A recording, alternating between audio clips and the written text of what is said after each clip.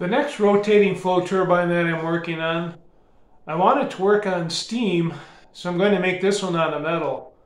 Now I acquired two big lids from two big stock pots, two big cooking pots, and I'm going to take these lids and I'm going to sandwich them together to make use of the space between them as a working area. Now like the last turbine, I'm going to orient it so the axis is vertical, but on this one, I'm going to have the supply pressure coming through the top. And in between these two uh, lids, I'm going to put a separator to separate it into two chambers, an upper chamber and a lower chamber. And that upper chamber will be for that nozzle arm to come down and spray steam, air or steam, all the way around that upper chamber.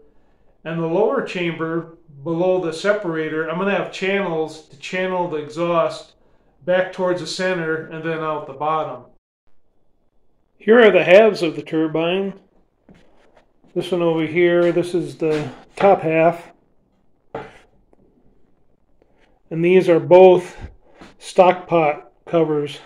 120 quart stock pot covers. And they just get bolted right together and this is the bottom half. And on the bottom half, I'm putting a separator in with some uh, shelving brackets that'll leave a space exiting exhaust to go out. So this will be bolted to this half, the bottom half. And then the air or steam will find its way on this outer edge and work its way back to the center and then out the bottom. And I'll stiffen this up too when I get these bolted together. I'll have to get that label off of here. These covers are a little bit flimsy, but I'll see how strong it is when I get them all bolted together. Got them, I'll have a bolt about or a screw about every inch and a half. I'm gonna peel this off. So I know it's gonna loosen up later.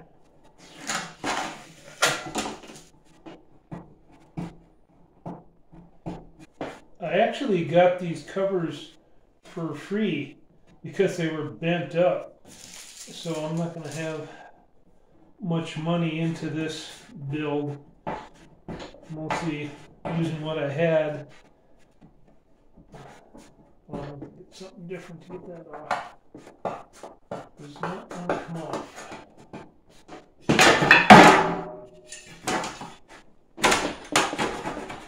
Now get these stuck together. I'm using some ultra copper high temperature RTV silicone gasket maker.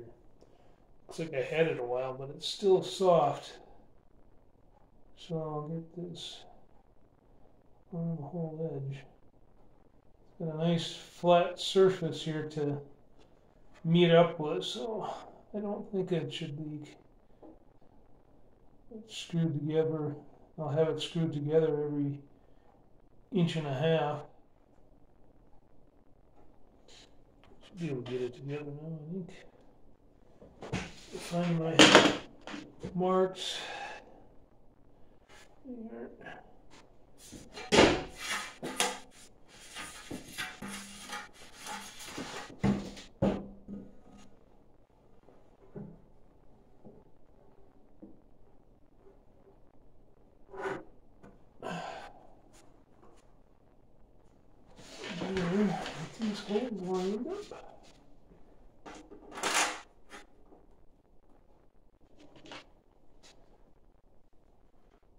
Had it together once before to get the holes drilled, but never had it sealed up yet.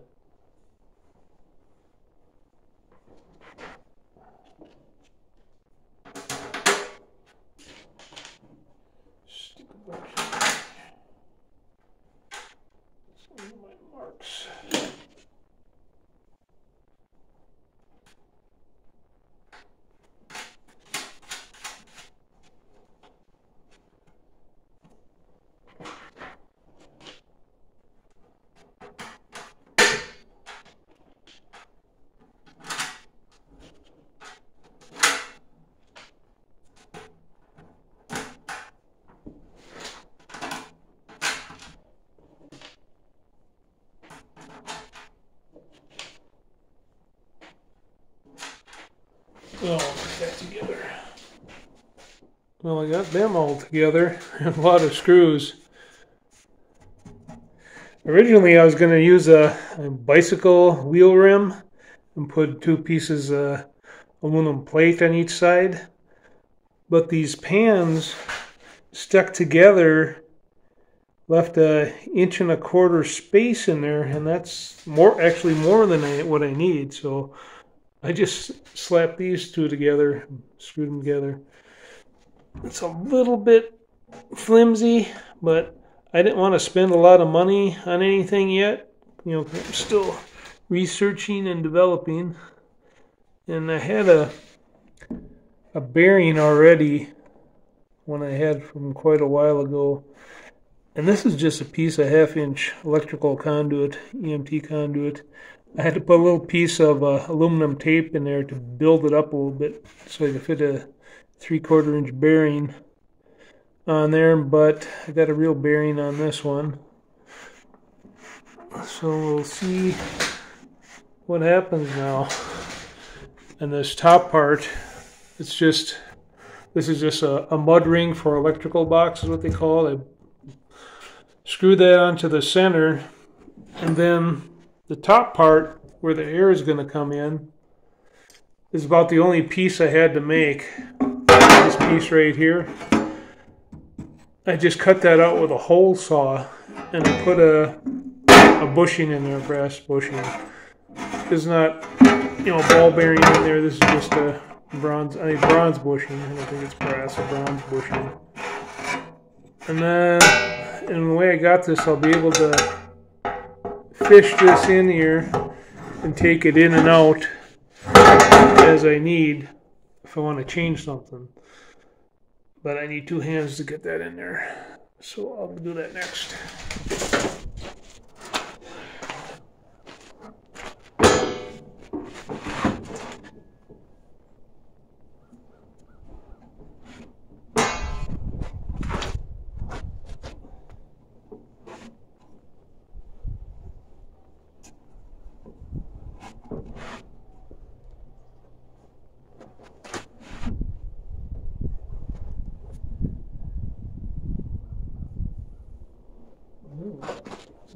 temperaturas.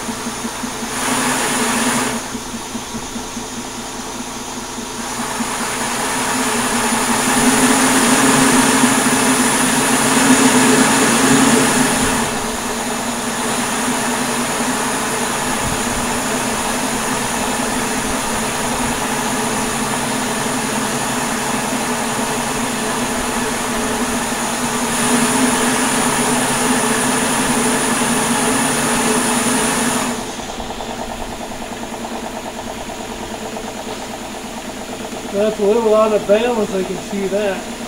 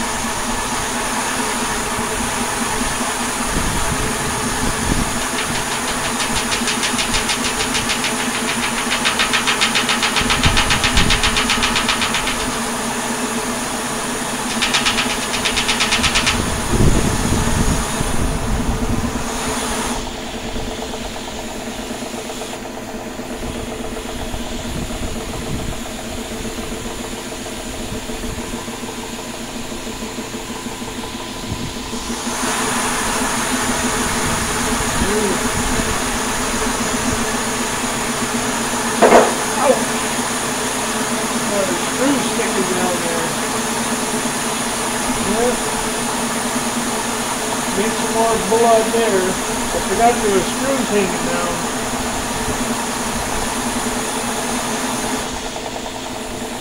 Doggone it. These things are sure are tough on my fingers.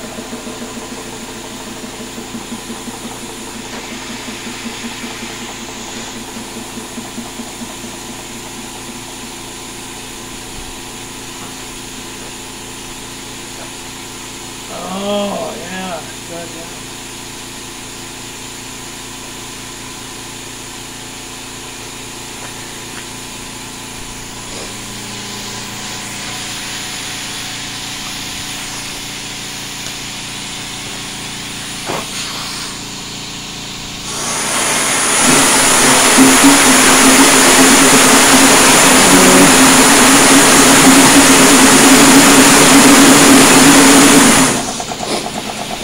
I think they got that off the center there, that uh, plate.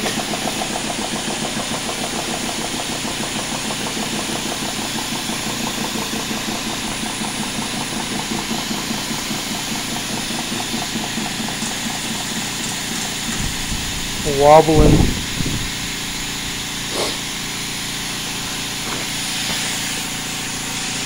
Or this hub underneath here. Must not have it quite centered under there.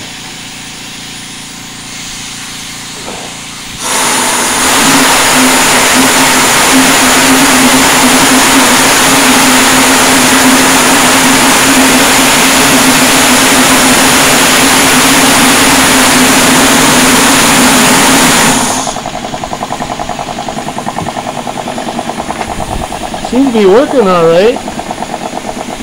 Except for it's out of balance. I think that bottom plate or hub hub that I have there is out of center, soft center.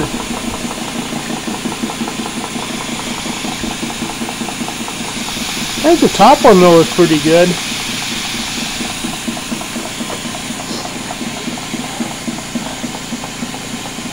Oh, touch it and keep knocking holes in my finger. I think I hit it on this screw right here. Might have to do something different, different type of hub here. Maybe something like I did the top one.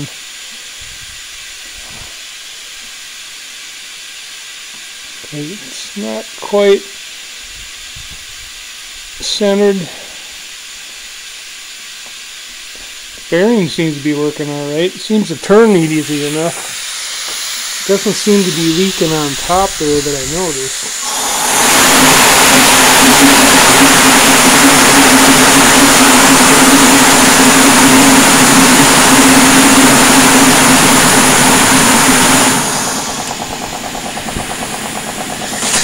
This leaking is just this hose. Yeah. Wall bone and off centered.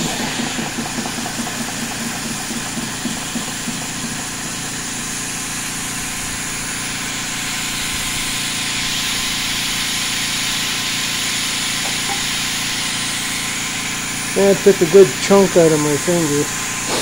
It doesn't hurt though, really. Must be just the skin took off. Always seem to have something going on, kind of injury. Alright, I think I'm gonna sign off on this video and go lick my wounds and probably have to make some kind of adjustment. Maybe a pipe flange underneath there. This was just something I had. It's a, it's a plate for outlet box I think for uh, to hang a exterior light on I think spotlight I don't know if that's maybe it's not manufactured just right I thought I had it measured to be right in the center but evidently it's not.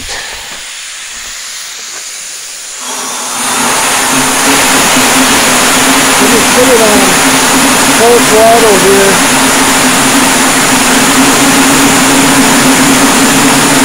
Throttle right there.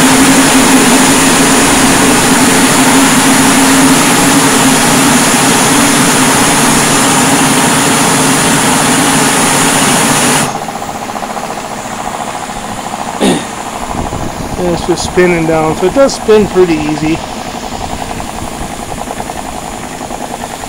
I can just crack this open a little bit.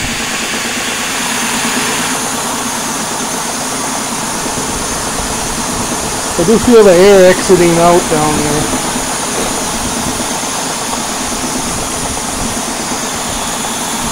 Just got it barely cracked open right now.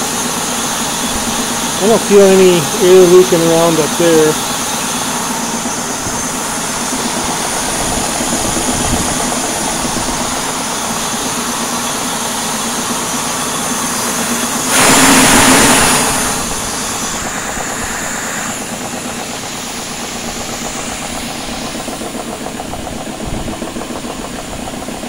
Yeah. Seems to be more precise.